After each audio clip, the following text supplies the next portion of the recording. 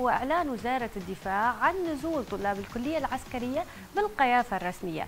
وقالت الوزارة أنه ولأول مرة منذ سنوات حصل نزول طلاب الكلية العسكرية بالقيافة الرسمية وكانت تعتمد قبل عام 2003 لطلاب الكليات العسكرية والمعاهد وكلية الشرطة.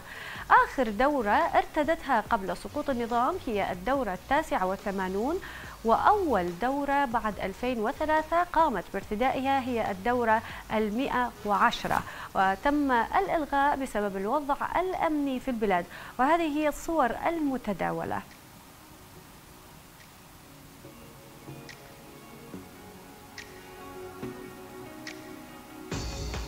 أكيد لازم نشوف آراء رواد مواقع التواصل الاجتماعي من خلال أخذ بعض تعليقاتهم حول هذه الصور المتداولة. أولى هذه التعليقات من الفيسبوك يقول كلش حلو بس نقص شيء واحد هو باصات توصيل إلى الجراجات الرسمية مثل النهضة والعلاوي.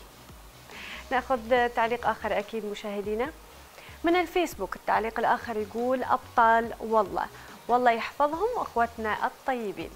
وأكيد مستمرين بأخذ التعليقات مشاهدينا حول هذه الصور المتداولة وتعليق آخر من الفيسبوك يقول الله يحفظهم جدا مهم الالتزام بالسياقات العسكرية الصحيحة وإبراز هيبة أسود الدفاع.